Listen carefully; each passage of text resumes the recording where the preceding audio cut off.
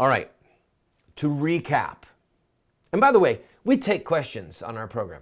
If, if you have a question, email us.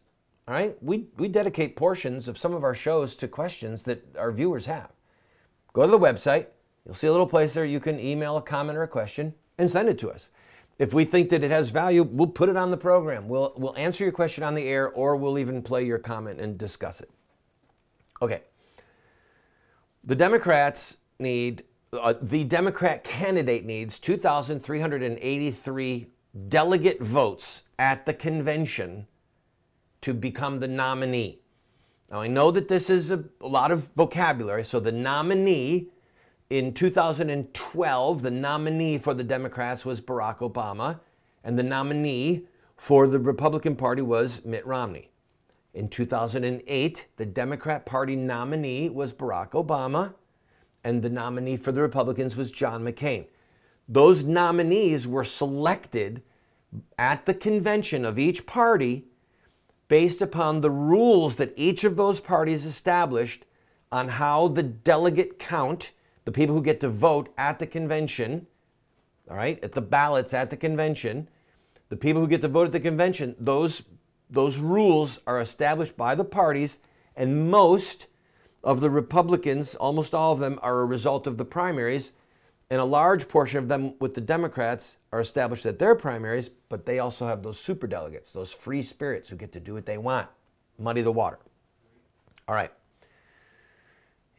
Here is how Donald Trump could prevail in many of the states, stroll into the convention with over 1,200 delegates, but not the 1,237 he needs, and then be denied, be denied the, um, the nomination. What does Donald Trump have to offer delegates that are coming from all over these 50 states. I don't even know the delegate who they I don't even know who they are. Well, a lot of them are party activists. A lot of some of them are elected officials who also happen to be delegates. So these are connected people. And if it if Donald Trump doesn't get the 1237 he needs, Donald Trump does not control the Republican Party apparatus, the infrastructure. He doesn't control it. The party machine does. The Karl Roves, the George W. Bushes, the Jeb Bushes, the Kasichs. That's who control the party people from their state. They are hoping. For those of them that are committed to prayer, which I don't know who, who of them are, they might even be praying that Donald Trump doesn't get the number because they know that Donald Trump cannot stroll down to the floor and say, I happen to know that there is a district attorney position in county, Harrison County, that's going to be opening up. And if, if you'd like to be the district attorney, if you could just help bring the delegates from your state to vote for XYZ candidate, Marco Rubio, Jeb Bush, you can have that job. They will actually begin parlaying political favors. It's happened before. President Lincoln won the Republican nomination, if my memory is correct, on the 10th ballot. They didn't have a nominee who had enough of a majority when they got to the convention. So they just kept voting over and over. And Lincoln's people were on the floor of the convention cutting deals, offering people positions inside of Lincoln's cabinet if they would bring the delegates to vote for him. That's how President Lincoln, one of our most famous presidents, became the nominee for the Republican Party and then went on to become president. So the Republican Party, the establishment that hate Donald Trump and despise us, by the way, despise the base, they want Trump to get into that convention without a majority. That's the only thing they can hope for to stop him. That's it. And by the way, Jeb Bush said early on that he would win the party's nomination without the base. Those of us who are evangelical, devout Catholic, devout pro lifers, those of us who are devoutly in, in favor of the Second Amendment and in marriage between one man and one woman at one time, okay? We're the base. We're not the moneyed class giving million dollar contributions to super PACs. They despise us.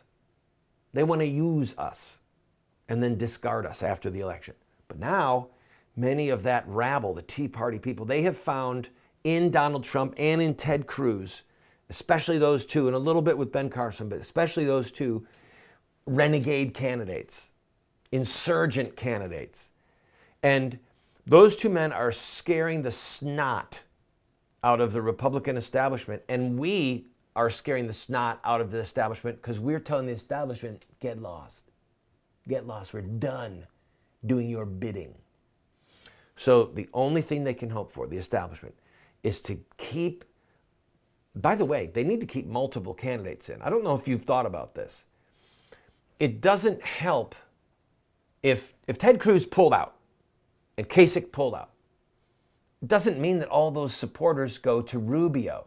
There's this foolish little narrative out there that if we could just get some of these people out and Rubio could be the establishment candidate, he might be able to take on Trump. No, no, it's not going to happen because a lot of Trump's, a lot of Cruz's people would go over to Trump, and a, and a good number of the other candidates would.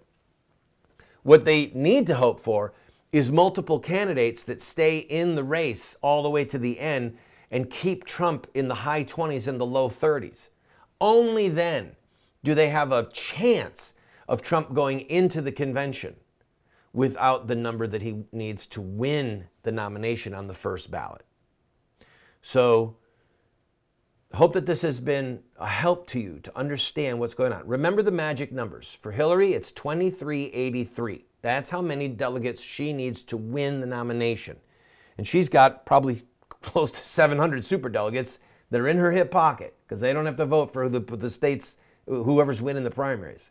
On the Republican side, the number is 1,237, and Donald Trump needs to hit that number before he strolls into the convention, or he could be in a world of hurt, despite his incredible popularity with a certain segment of the base inside of the party. Well, but can Donald Trump defeat Hillary Clinton? Well, I'll tell you when we come back.